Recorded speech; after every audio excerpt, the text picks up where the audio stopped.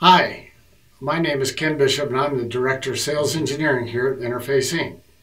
And I'm here to show you how to get started with your Model 480 bidirectional weight indicator. Before we do, I'd like to point out a few of its key features. One is it works with a variety of millivolt per volt force and torque transducers. It has 500,000 internal counts, a six digit 0.8 inch LED display, and can power up to 10 350 ohm load cells.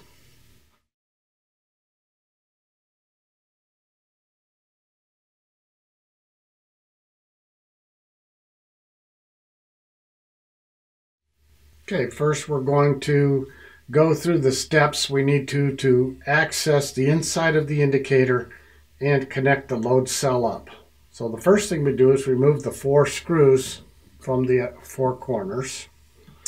And then the next thing we do is loosen this and keep the load cell uh, cable. We're going to insert it through um, this cable gland cap and then through the cable gland hole. We're going to unscrew this cover, which gives us access to the config button, and it'll also loosen a bracket that's on the inside. And of course, we need to unplug the unit before we begin any of this kind of work for safety precautions. I'm going to open this up now, and we're going to see the inside of this unit. As we unscrewed this piece from the back, it loosened this cover which was covering up the connection where the load cell is going to be connected to the board. And so uh, we'll remove this piece and put it aside for now. The next thing is we're going to make sure that the load cell wire is fed through the hole, as we said before, through the cable gland uh, cover first, then through the cable gland, and route it in to the inside of the unit. And then we're going to connect the load cell wires to this connector right here. And it will be um, per the instructions that are labeled here. You can't see them, but it shows you where plus excitation is, minus excitation, sense, and also signals, plus and minus signals. So uh, we'll go through that activity, connect them up as such. And then when we're done with that, then we are going to close the cover for now. And then replace some screws so that this unit is secure and we can begin working on it. So as you can see, we've secured the back panel with some screws. We've put the cable gland cover back in place and tightened it down. And now we're ready to enter config mode. Uh, you can plug in your unit now safely.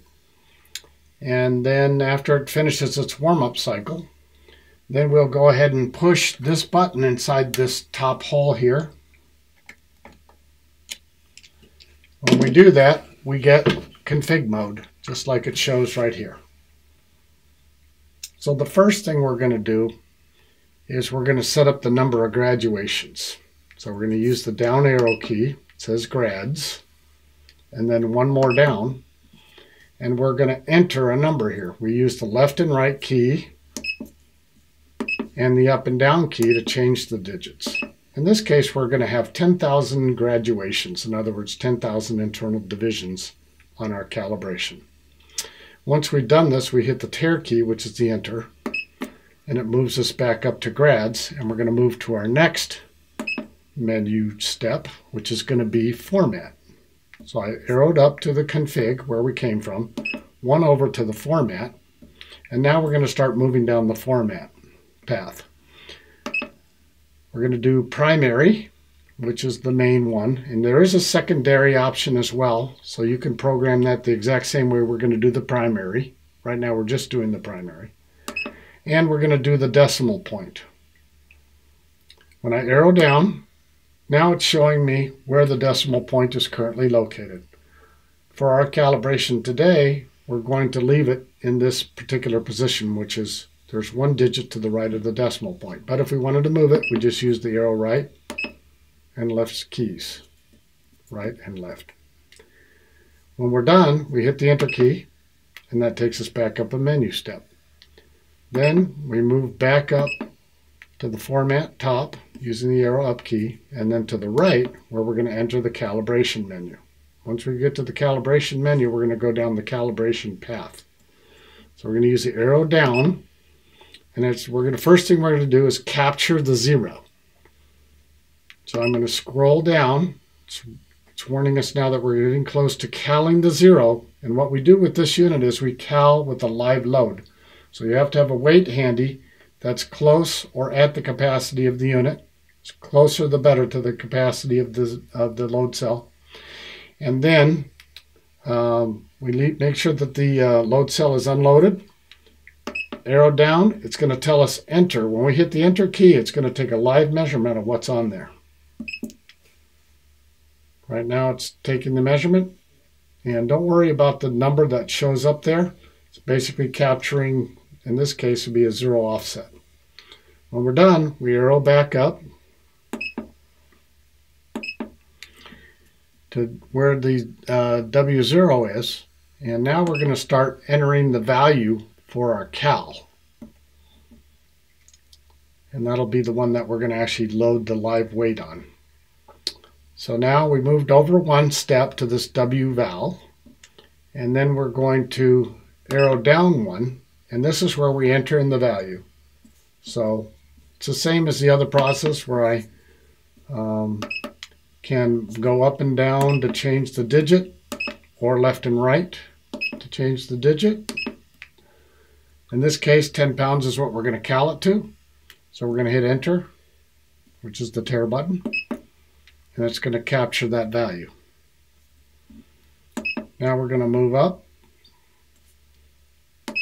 move over to the right to W span or U span, and this is where we're actually going to do the live load capture for the span. It says cal. That's letting us know we're going to move into the cal portion of the step. I'm going to load, in this case, a 10 pound weight on there.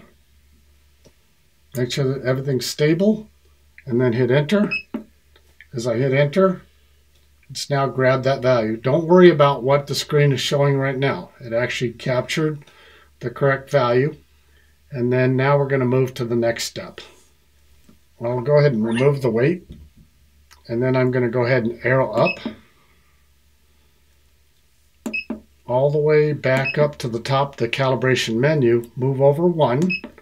And then what we're going to do here is we're just going to set it in NTEP mode, which basically gives you bipolar operation. So we're at the program step. We're going to move down to power UPM, but we're not going to stay there. We're going to move to the right one to Regula, which is going to have the same category for NTEP in it, which is where we want to go. There's NTEP, and we're going to hit enter, which is the tare button.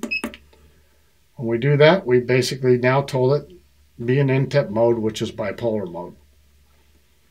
Now that we're done, we need to move our way back through the top of the menu and it'll save our program. So by series of using left and right keys, we're going to go all the way back to the config, to the menu, and then arrow up. And when we do that, it saves it. This is an important step. Now it's going to the warm-up process.